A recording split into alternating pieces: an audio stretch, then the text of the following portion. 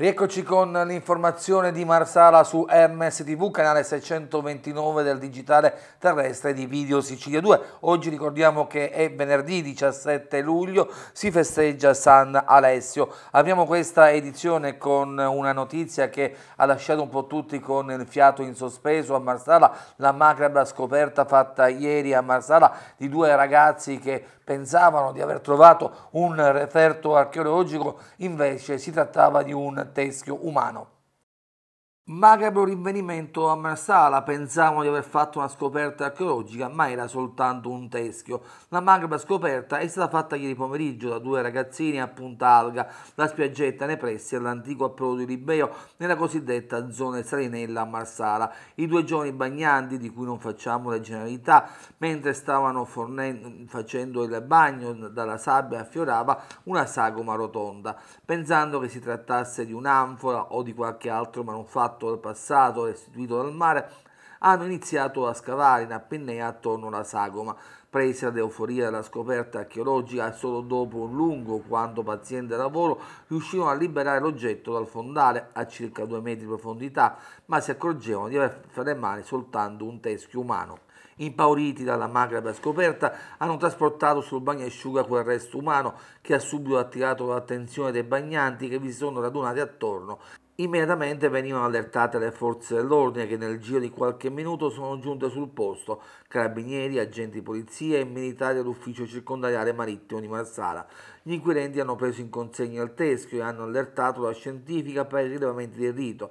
Con gli ultimi ritrovati delle tecnologie in possesso ai patologi cercheranno di stabilire la data presunta della morte, se apparteneva a un uomo o a una donna, se apparteneva a un indigeno o a un extracomunitario, nonché altri elementi nel tentativo assai difficile di addivenire all'identificazione del cadavere. Secondo quanto appreso dai bagnanti, pare che il teschio presentasse una profonda ferita alla fronte, ma al momento non è dato sapere se questa è dovuta alla morte o conseguente al moto ondoso e al violento uh, girare delle correnti marine che lo hanno trasportato fino a riva.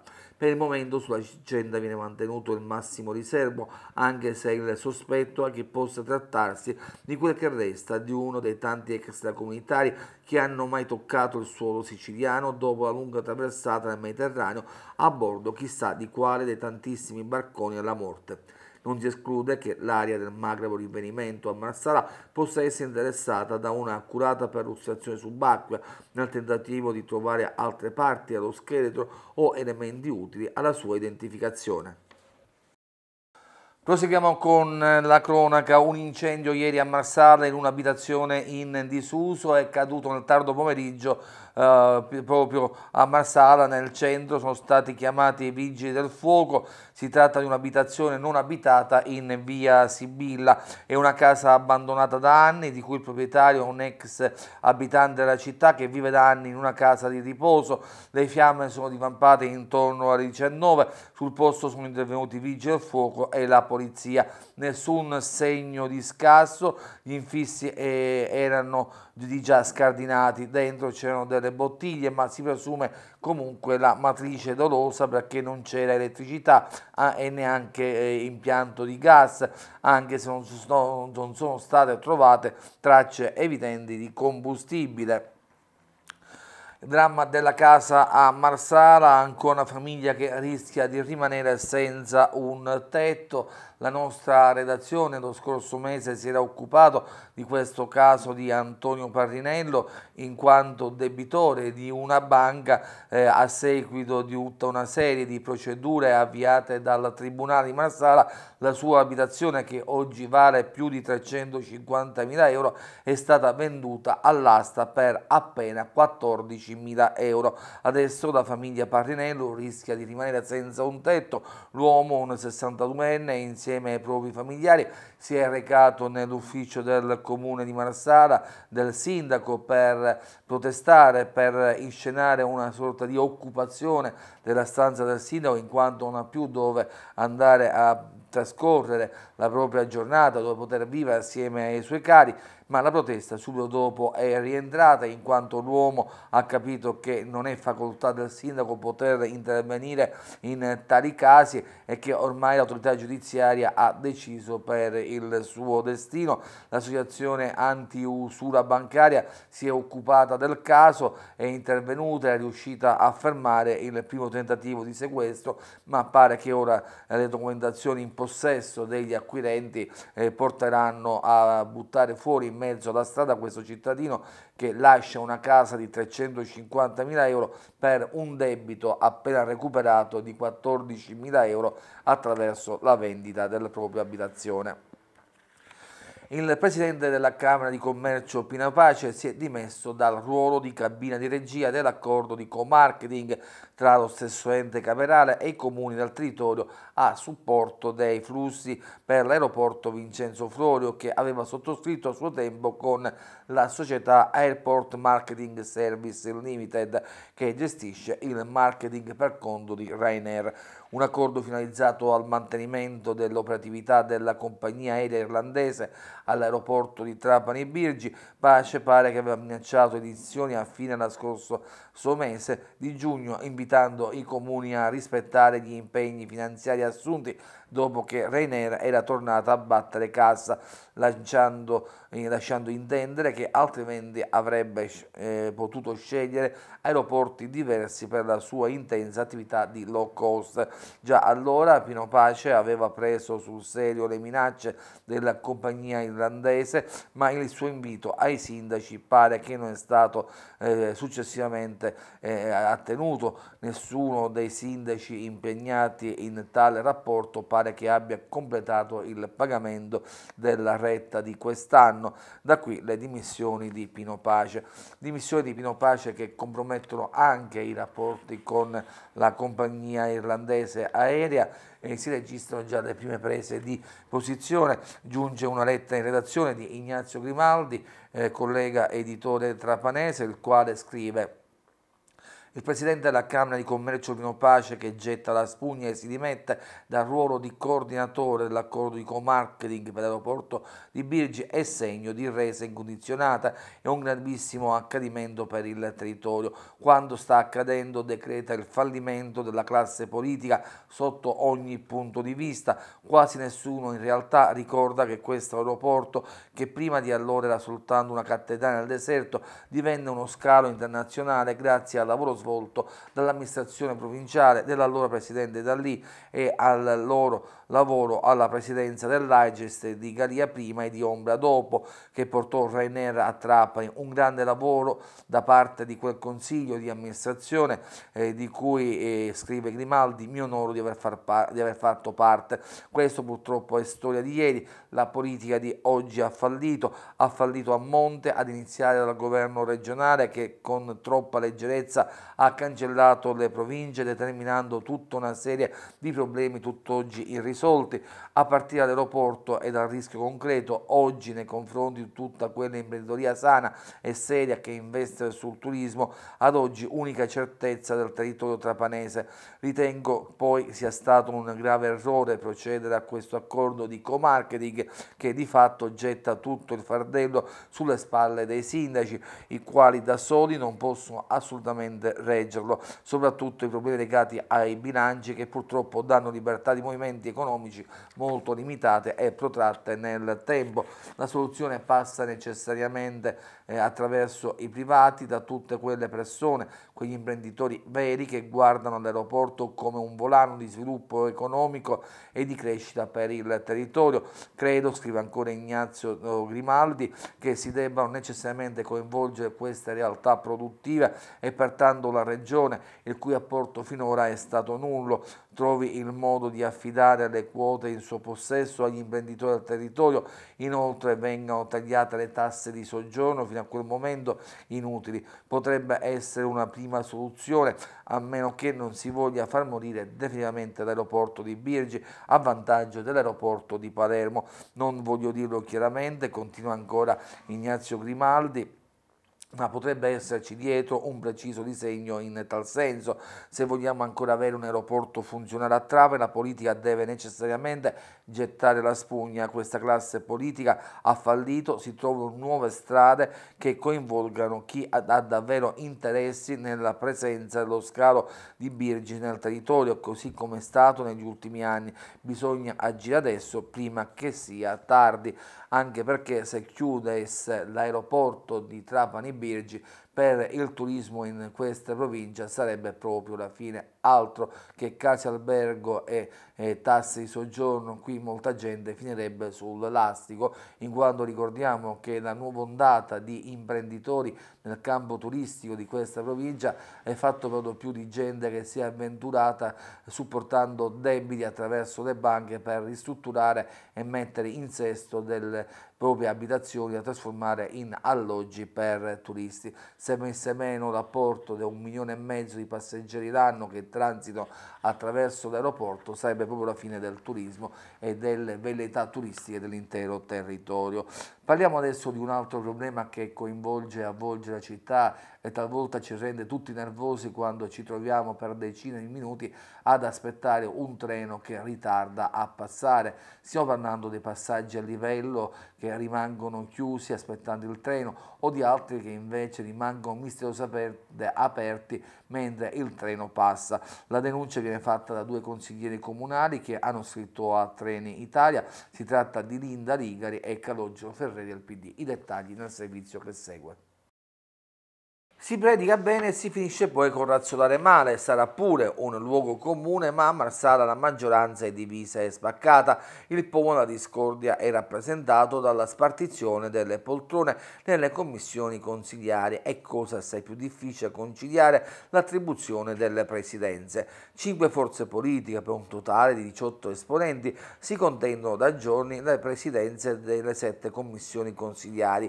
Il PD partito in maggioranza relativa ne chiede addirittura addirittura 4 su 7, ma le altre quattro forze politiche della coalizione dicono no. Non è certamente un buon inizio per la coalizione politica che ha sostenuto le elezioni di Alberto Di Girolamo a sindaco, come il continuo rimandare delle dimissioni di Enzo Sturiano da assessore, la mancata distribuzione delle deleghe assessoriali e i mille più problemi che affliggono la città e che attendono soluzioni non fanno altro che continuare ad allontanare i cittadini dalla politica attiva. È pur vero che il sindaco e gli assessori si sono insediati da appena un mese, le casse del comune sono vuote come non mai e non è stata avviata un'adeguata programmazione dal commissario straordinario, ma il tutto non può giustificare quanto sta accadendo nelle commissioni consigliari, dove il cambiamento annunciato dal sindaco in campagna elettorale e condiviso dai suoi 18 consiglieri comunali, dove è finito ci si chiede in giro. Sulla grave situazione politica avvenutasi a creare a Marsala sono diversi gli interventi degli esponenti dell'opposizione volti a far inserire la nutrita maggioranza del sindaco che sulla carta conta di ben 18 consiglieri su 30, ma forse nella realtà questi numeri non esistono proprio a Marsala. Ora è la volta di Aldo Rodriguez del Movimento 5 Stelle, il quale scrive testualmente una lotta fratricida sta alla fine uccidendo soltanto la città di Marsala. Ripeto, il Consiglio Comunale è fermo, non può lavorare se non arrivano gli atti dalle commissioni, ma la maggioranza è in una fase di stallo per la scelta dei vari presidenti, quindi l'avvio dei lavori. Una maggioranza disfatta, incurante delle necessità di questa città, che dovrebbe tornare davanti ai propri elettori e spiegare per quale motivo non vogliono mettere in moto questa città. A questa inefficienza politica fa eco il sindaco e i suoi assessori designati, quest'ultimi che hanno vissuto il primo mese di governo e quindi il primo stipendio come se fosse una colonia estiva, stanno dimostrando la loro totale inattitudine a ricoprire incarichi istituzionali. Alberto Di Girolamo è sotto scacco dalla sua stessa maggioranza e dal Presidente del Consiglio Enzo Sturiano per la scelta del sostituto di quest'ultimo e la distribuzione delle deleghe. È trascorso esattamente un mese dall'elezione del sindaco e non ha fornito ancora una linea politica sulla sua amministrazione e cosa intende fare nei primi 100 giorni di governo aggiunge il consigliere Aldo Rodriguez del Movimento 5 Stelle di Marsala, il quale sostiene che è ora di chiedere a questi signori di rispettare il loro patto agli elettori e consapevolmente dare il via alle commissioni e ai lavori del Consiglio Comunale. Eccoci ritornati in eh, studio, un incontro con i sindacati a Marsala, con il sindaco, hanno deciso che si rivedranno periodicamente per confrontarsi su temi prioritari a partire da occupazione, sviluppo, servizi sociali. E questo quanto è stato concordato al termine dell'incontro che i rappresentanti sindacali Piero Gengo della CGL, Antonio Chirco della Cisle, Giuseppe Tumbarello della Will hanno avuto a Palazzo Municipale di Marsala con il sindaco Alberto Di Girolamo, presenti tra gli altri gli assessori Anna Maria Angeleri, Salvatore Accardi e Agostino Ligari ha, eh, ha toccato l'incontro diversi punti e aspetti di interesse collettivo.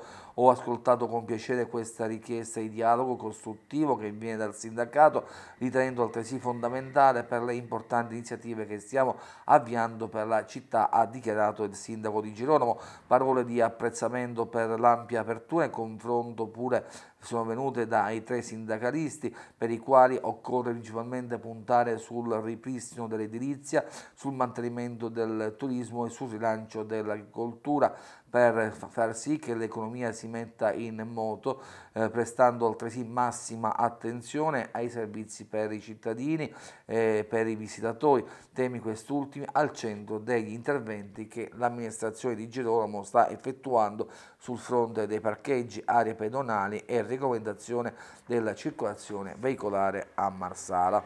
E voltiamo pagina, parliamo adesso un po' di politica, quello che sta avvenendo in seno al Consiglio Comunale, in seno ai gruppi politici, ai consiglieri comunali, a questa guerra fratrice, eh, fratrice scusate il, il, gioco di parole, eh, che vede spaccata eh, eh e divisa su più fronti la maggioranza. Ma vediamo i dettagli nel servizio.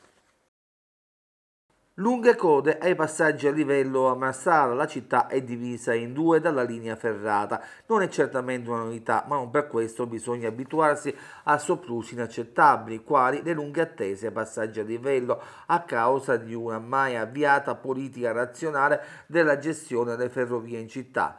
Certi giorni, quando si accumulano ritardi nel consentire ai viaggiatori di Trenitalia di cambiare treno nella stazione centrale di Marsala, si chiudono contemporaneamente i passaggi a livello di via Itria, Corso Catafimi e via Noto, paralizzando così anche per decine di minuti il traffico veicolare, con l'aggravante di far ritardare i mezzi di emergenza pubblica, ambulanze, vigili del fuoco, forze dell'ordine in servizio.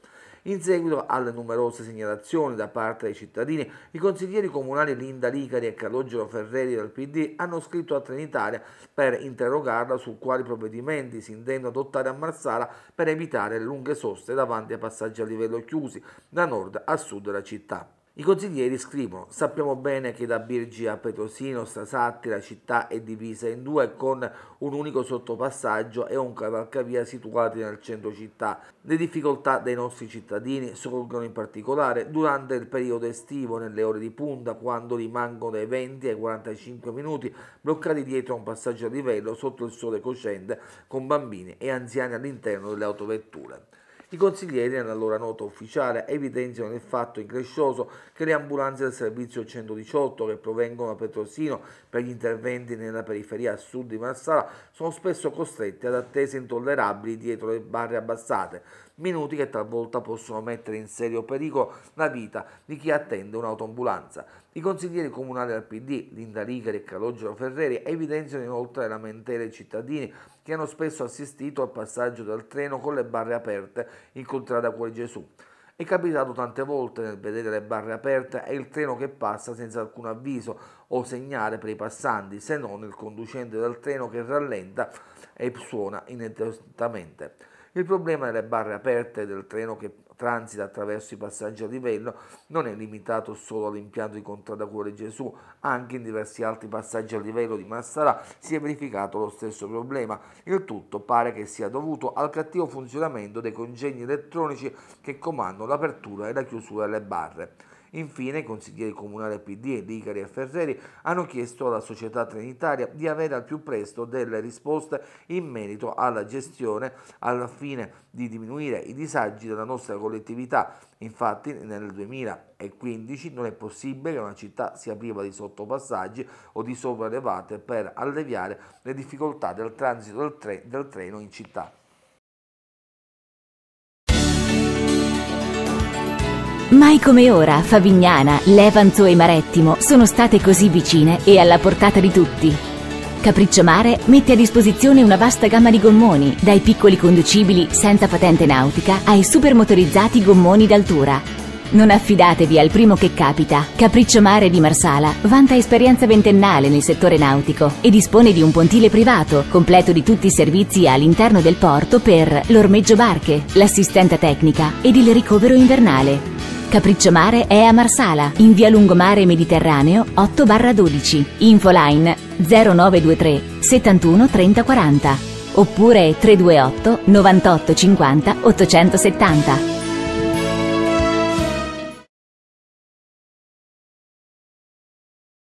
Ancora una notizia di carattere eh, politico, il consigliere comunale Rosanna Genna in qualità di consigliere ha presentato un'interrogazione per quanto riguarda la manutenzione urgente del semaforo di Contrada Terrenove Bambina in Contrada Ventrischi.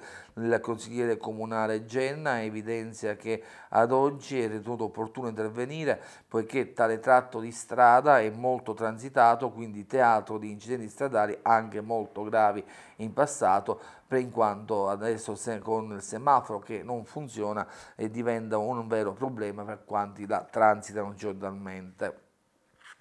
Parliamo ancora di provvedimenti sindacali adottati dal sindaco di Marsala volti a dare maggiore decoro alla città di Marsala e a Piazza Mameli che rappresenta un pochettino quello che è il biglietto di visita, la porta che si incontra entrando a Marsala, stiamo parlando di, della zona di Porta Garibaldi eh, è da tutti considerato l'ingresso per il centro storico, afferma il sindaco Alberto Girolamo, ma anche un luogo di incontro dei marsalesi, punto di raduno di visitatori e turisti. Pertanto abbiamo facilitato il transito di pedoni e disabili, dando più ordine alla circolazione veicolare. Da qui il primo provvedimento predisposto dal comando della Polizia Municipale con il quale si istituisce il divieto di sosta H24 e rimozione forzata sull'intera piazza Mameli con un'altra ordinanza sindacale invece si mette ordine eh, a piazza Mameli con riguardo a varie situazioni a cominciare dagli stalli per i disabili per i due c'erano prima cambia poco uno è stato spostato all'inizio dei via dei Mille, l'altro su via Vespri, in prossimità sempre di Porta Garibaldi. Altra attenzione è stata prestata alla sosta dei veicoli per quanti si recano in centro per motivi di lavoro o shopping. In realtà non è un problema, tenuto conto che nella zona ci sono ben due parcheggi, quello del lungomare, l'altro in Piazza del Popolo, sottolinea il primo cittadino. Tuttavia abbiamo voluto andare incontro a diverse esigenze particolari, facilitando ulteriormente la sosta temporanea. Questa, come si legge nell'ordinanza controfirmata dal comandante Vincenzo Menfi, sarà a tempo limitato con disco orario su via De Mille nel tratto compreso fra piazza Mameli e via 4 aprile. Si potrà parcheggiare dalle 9 alle 14 e dalle 16 alle 20 ma solo per 30 minuti. Negli stessi orari, per massimo di 60 minuti, si potrà pure temporaneamente sostare sulla via Scipione Africano nel tratto compreso fra il lungomare e il numero civico 21, nonché nel tratto successivo dell'area di scarico e scarico fino all'intersezione con via Quarto. Infine sono state rifatte le strisce pedonali negli, degli attraversamenti in prossimità di Piazza Mameli. Sulla stessa area sono stati raddoppiati gli spazi riservati al parcheggio di ciclomotori, biciclette e motociclette. E voltiamo pagina, iniziamo a parlare un po' di attività culturali che si svolgono in città. Sabato, ovvero domani, alle ore 18, presso la sala conferenze del Museo Archeologico Regionale Libeo di Marsala, sarà inaugurata una mostra dal titolo Tramozia e di Libeo, paesaggi e monumenti della Sicilia, consistente in un pregevole corpus di fotografie di Giuseppe Leone, uno dei più noti e amati maestri siciliani della fotografia d'arte. La stessa mostra, curata dal direttore del museo Maria Luisa Famà e dall'archeologa Maria Grazia Grifo, era stata presentata per la prima volta a Los Angeles nel giugno del 2013 presso l'Istituto Italiano di Cultura in occasione dell'esposizione negli Stati Uniti dell'Auriga di Mozia. L'iniziativa, realizzatasi con il concorso del Comune Marsala, costituisce un'importante occasione per promuovere il patrimonio culturale e paesaggistico della città, insignita in quell'anno dell'importante riconoscimento di città europea del vino e per far conoscere i monumenti fenicio-punici più importanti di Mozia e di Libeo. Adesso viene riproposta, si terrà sempre, come dicevamo, al Museo Baglio Anselmi e sarà aperta al pubblico. Nell'ambito delle manifestazioni in memoria delle vittime della strage di Via D'Amelio, il presidio di Libera di Marsala invita venerdì, di, ovvero oggi alle ore 21 al centro sociale di Sappusi per un incontro per ricordare le vittime della strage di Via D'Amelio. Domani alle ore 21 allo stadio comunale di Marsala per il triangolare di calcio con squadre miste composte da un lato carabinieri, polizia, comunità Faro, Esprar e i ragazzi dell'USMS dei quartieri di Amabilina e Sappusi. Domenica infine alle ore 21 al complesso mentale di San Pietro, giornata dedicata ufficialmente alle vittime della strage di Via D'Amelio con intervento delle autorità cittadine e premiazione dei giocatori che hanno partecipato al torneo. Parte domenica a Marsala il Vie Note Jazz, una mini rassegna che si articolerà nella città tibetana tra workshop per musicisti e cantanti, jam session e concerti con grandi nomi del jazz americano. La settimana in musica Vie Note si conclude il 24 luglio prossimo con l'atteso concerto del quintetto del famosissimo trombettista americano Roy Hargrove, vincitore del Grammy Awards del 2003, che si esibirà al complesso monumentale San Pietro proprio nel cuore della città. Il direttore artistico della rassegna, Alberto Fidone, dei Sicilian Beat, dice di essersi innamorato di Marsala e di volerle donare tanta buona musica, così come merita un luogo già noto al grande jazz americano. Ed ancora in chiusura si terrà a Marsala il prossimo 25 luglio eh, lo Juventus Club Doc Day Sicilia, raduno a carattere regionale di tutti i club ufficialmente riconosciuti dalla Juventus Federazione Club. Una, ad organizzarlo è lo Juventus Club eh, di Gaetano Scinea di Marsala, presieduto da Nino Ienna.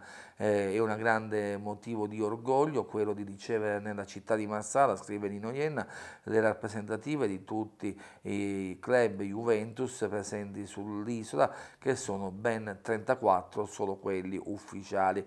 Un programma ricco tra eh, vari momenti, quello che si articolerà, eh, che prevedono momenti di intrattenimento per gli ospiti. Mercoledì 29 luglio alle ore 19 presso la chiesa Maria Santissima in Contrada Ciancio a Marsala sarà celebrata invece la Santissima Messa per Eros Scafuro. Il Scafura alle 20.30 invece si terrà presso il Dribbing Fiumara del Sossio un torneo di calcio a 7 per ricordare questo giovane marsalese prematuramente scomparso eh, figlio di un maresciallo dei carabinieri, eh, il giovane a soli 19 anni perse la vita lo scorso anno a Marsala lasciando nell'angoscia i genitori e quanti lo conoscevano, amici e parenti, adesso vogliono ricordarlo con una serie di eventi legati al calcio a cui il giovane era particolarmente dedito. Giovedì 30 luglio, infatti, alle ore 20 presso la Chiesa Maria Santissima, sempre in Contrada Ciangio a Marsala, si terrà il torneo di biliardino tra gli amici di Eros. Eventi tutti organizzati dal papà Antonio, Andrea Abate, Francesco Sorrentino e Francesco Accardi, che invitano la cittadinanza a partecipare in ricordo del nostro Eros. Per questa edizione è tutto, arrivederci alle prossime.